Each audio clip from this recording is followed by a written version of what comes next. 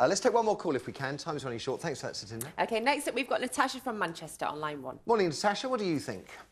Um, I think that she should um, stay with the rules. You know, um, stick to the rules. Okay. School. Because um, I don't think that she should um, have her individual needs met if everybody else has to do that role. Equally, you could say that if the school had just turned a blind eye, we wouldn't have this discussion. As Shobna said, we've got through decades and decades uh, of, of cultural, religious... old do you think I social- am? Well, no, no, not... oh, no. Not as old as him. That's it. Not as old as me. But we've had so many years with, with these things not being a problem. And I, I literally, I've lost count of how many discussions we've had now on, on religious artefacts. Do you not think that, that common sense would have said turn a blind eye, Natasha? Pardon? Hello? Hello?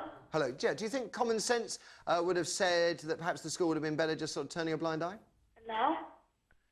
Yeah? No, yes. Okay, well, we'll take that as undecided sitting on the fence, Natasha. Thank you very much for your cause. It's a great point, though, Sean, a great point that this is a, a very new phenomenon and, uh, and slightly worrying one, I have It to is say. worrying when everybody wants to highlight difference.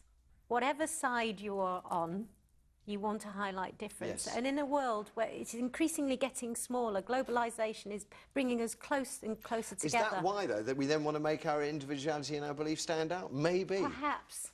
OK, we'll leave that one floating in the air. Thank you very much for all your calls. Sorry we didn't get through anything but a fraction of them. I do apologise.